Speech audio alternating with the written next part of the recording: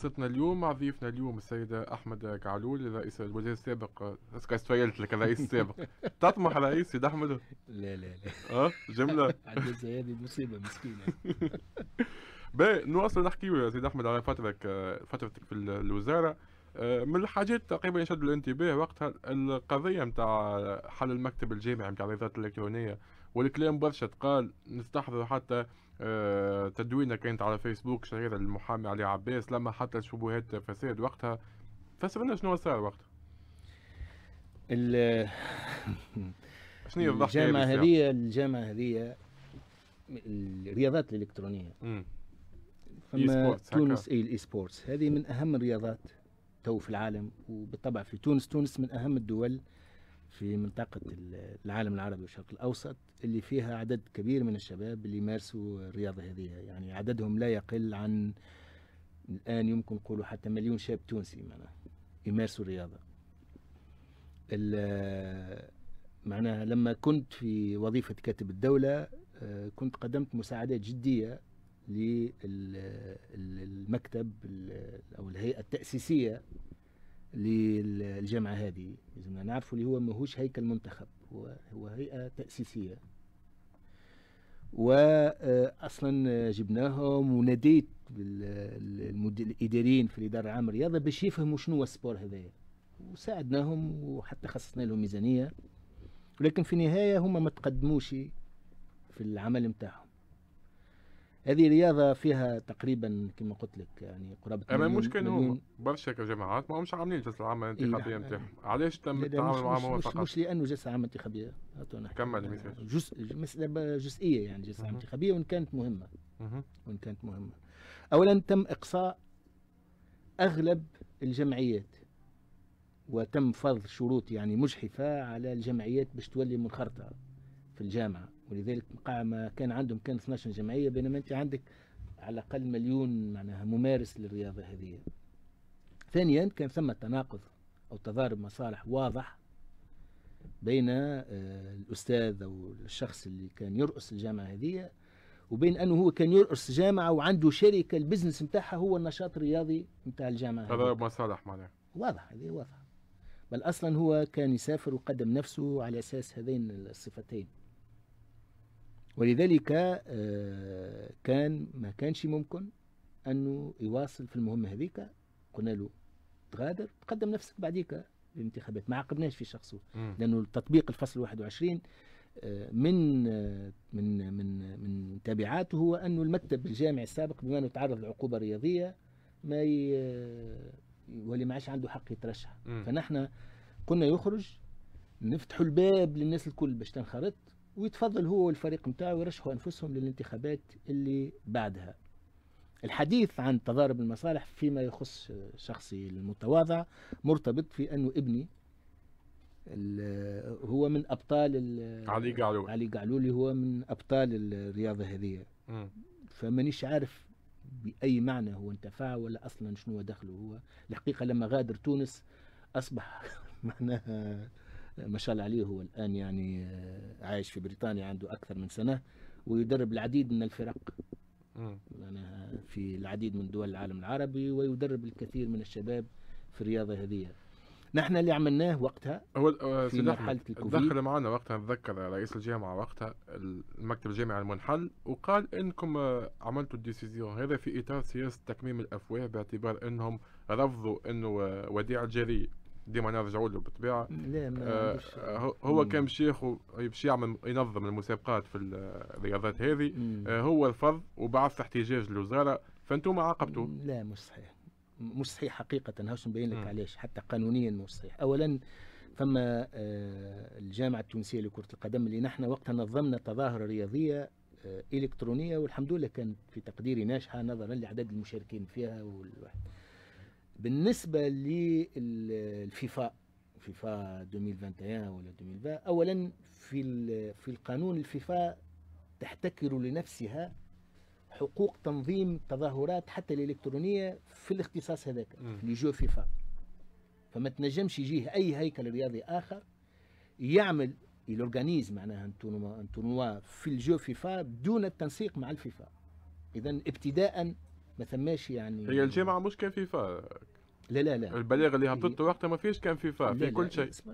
نمشيو خطوة خطوة. نتفاعل معك ما و- معناها تدخل الجامعة التونسية لكرة القدم وما احتجش وما جاتنيش مراسلة فيها احتجاج أنا من من عند الجامعة ونجموا يحب يرجع يرجع للأرشيف نتاع الوزارة يجيب لي مراسلة فيها احتجاج من الجامعة التونسية. لكرة القدم بخصوص الوحدة هذيك ما تمتش هذه بالعكس نحن طلبنا منها أن تشارك واتصلت بمجموعة من الجامعات الأخرى طلبت منهم اللي عندهم آه، filière électronique باش هما زادا يدخلوا. لأنه حبينا ان النشاط هذايا آه، يساعد كما سباق السيارات إلى غير. ذلك.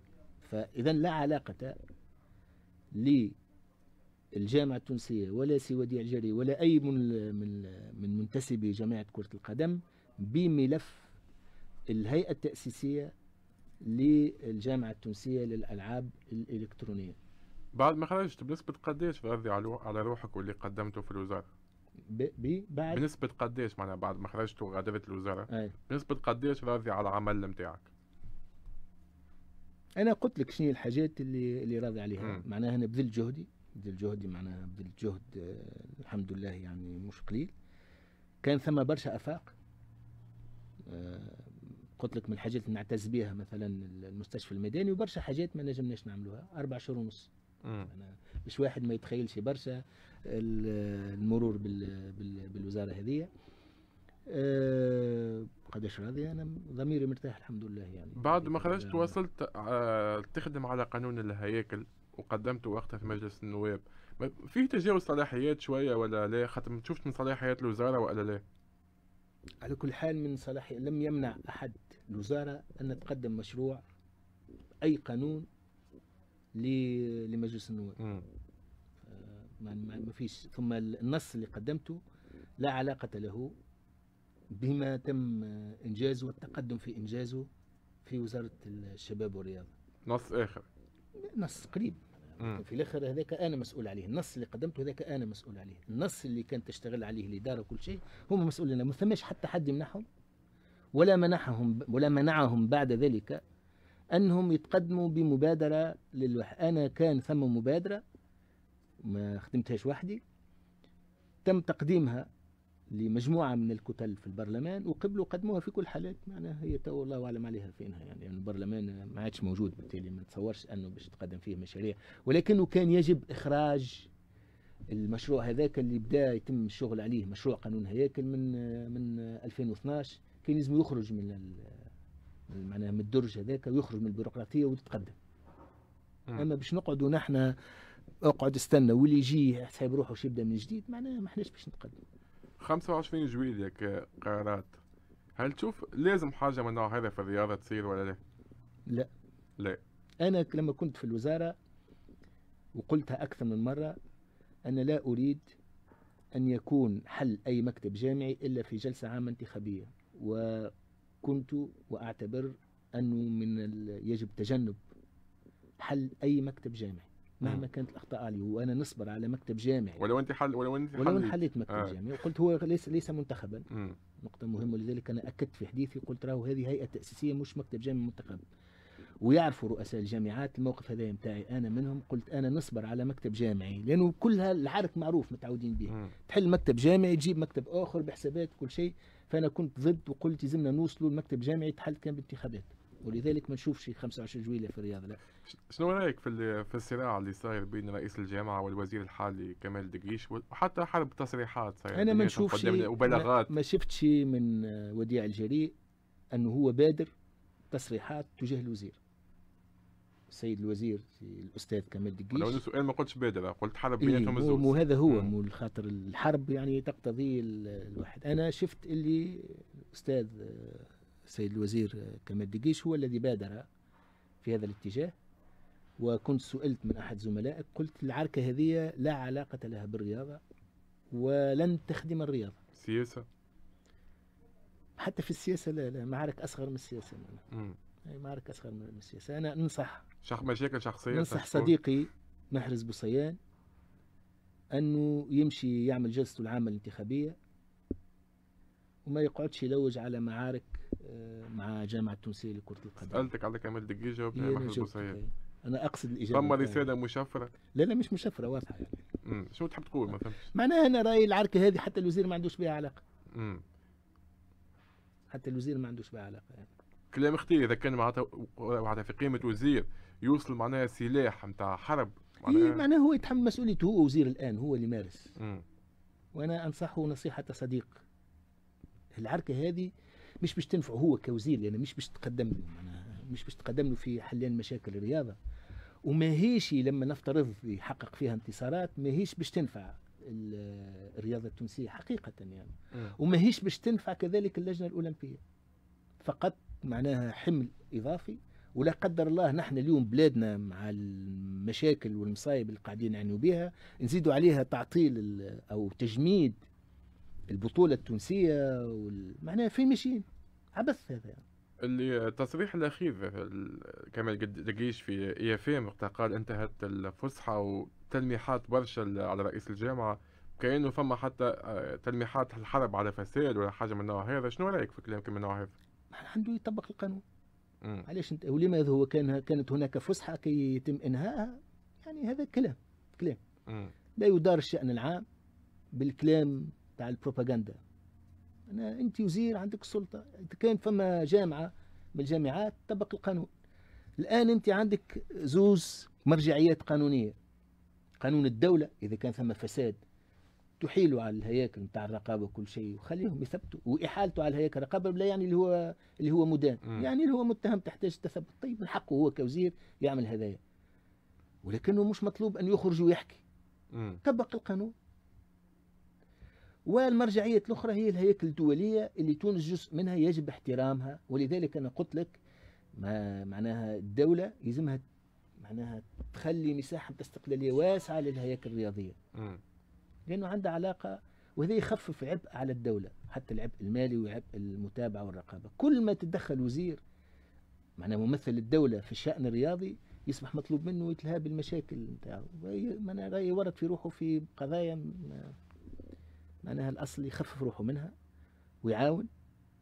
عنده مشاكل بتاع بنية تحتية عنده مشاكل بتاع رياضيين عنده مشاكل بتاع جامعات عنده مشاكل أنه نحن اليوم تونس يلزمها تول... يلزمها تستقبل أكثر ما يمكن تظاهرات معناها دولية باش ندخلوا فلوس باش الرياضة تدخل في موضوع التنمية. اليوم إذا كان صورة تونس في العالم عركة بين وزير وأكبر أحد أكبر ال- الهياكل الرياضية معناها شكون باش يجيها شكون باش يجيها البلاد هذه.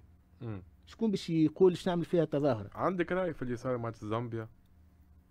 تونس حقيقة ما ما ما تابعتوش حقيقة يعني بصدق ما نسيت تابعتوش تنقل- على موضوع عدم حضور ال- حرب بلاغات تقريبا تصرف أي معناها أنا هذا ما شفتوش مشهد باهي انه رئيس الجامعة التونسية يقعد على الجرادان.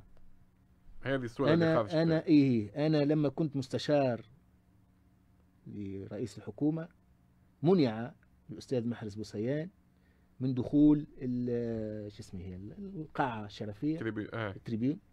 جيت خصيصا نسكن في الحمامات جيت خصيصا من الحمامات باش رافقته باش دخل. لأنه هو رئيس هيكل رياضي ما تنجمش تتعامل معاه. عندك معاه عركة خليها في الدار هذوك معاركم الشخصية. هذا رئيس جامعة الأصل أن تتعامل معاه في إطار القانون. بديك قلت لي ما فهمتش معناها انتهت الفسحة. هل كان فما فسحة وانتهت؟ نحب نفسر لك التأويل معناتها بتاع الوزير. يقال إنه آه وديع الجري كان محمي من حركة النهضة ب- بواسطة من السيد أحمد قعلول. اليوم بعد اللي صار من في 25 جويلية هذا شنو قصد بانتهاء الفسحه ما كان فماش حاجة أنه أحمد قعلول كان يحمي وديع كان يحمي وديع ويحمي غير وديع. وأنا أعتز على المستوى الشخصي هذايا بعلاقتي بوديع كما أعتز بعلاقتي بالعديد من رؤساء الجامعات. أنا أعلم أنه في لحظة معينة أريد للقضاء مثلا أنه يتدخل باش يمنع الجلسة العامة بتاع جامعة كرة القدم في 2015 وهذا كان عبث لو كان تم كان باش يدخل البلاد في فوضى إلى غير ذلك إذا كان هذه حماية أنا أعتز بهذه الحماية ما يقلقنيش لكن هذا قرار قضائي وقت خرج لا ما ثماش. قرار قضائي لأنه لأنه كان ثم قرار تحكيمي من الكناس مم. ومعروفه العركه نتاع الكناس مم. أريد للقضاء التحكيمي نتاع الكناس انه يمشي للقضاء العادي وهذا مخالف للقانون بخلاف ال- الخلافات الرياضية كان فما حتى كلام تحكي على قضايا جارية كانت معطلة بتدخل من حركة النهضة الوديعة قضايا الجاريه معناها؟ مثلا نعطيك آه، ال dossier نتاع ال Promosport ال dossier نتاع شنو اللي- اللي ال Promosport؟ اللي تحركوا توا كيف كيف التجهيزات الرياضية والديوانة اللي عيطوا تقريبا الأسبوع الماضي لأشرف العويدي من قصدي يحكي فيهم. أكيد تعرفهم أكثر مني باش نسالك عليهم. يقال هذم اللي كانت حركه النهضة معطلتهم في يعني القضاء. كيفاش معناها؟ كيفاش معطلتهم؟ معناها واقفين الدوسيات ما فهمتني أكيد سيد أحمد. دي لا لا. اسمعني خلينا خل نفهم أي. طيب حركة النهضة الآن تونس كلها تحكم بسلطة مركزية واحدة. مم. طيب هاك عندك القضاء تفضل. لو كان تلقى ملف دخلت فيه حركة النهضة وعطلته. طيب امشي وجه لها تهمة هذا كلام فقط سامحني كلام سامحني آه. سامحني في الكلمة كلام فارغ. تاع بروباغندا. أنا اللي نعرفه أن الجامعة التونسية لكرة القدم هي محل مراقبة متواصلة منذ 2012 من الهياكل الرقابية العليا في الدولة مش نتاع الوزارة. CFG. إيه. أنا يراقبوا فيه بالمليم. لكن اللي يقال فما ملاحظات. و- وما تصرفوش. خلاص هو يتصرف هو يتصرف. تصرف معاه الدولة. أما هل ال- ال- ما نحبش نقول كلام يعني مش مناسب الكلام الكلام اللي هو كلام في الهواء. في الهواء ما عندوش مم. قيمة إذا كان الجامعة التونسية عندها إخلال فما القضاء ولكن القضية لما تكون مطروحة عند القضاء زي تخرج تحكي عليها في الإذاعات مم.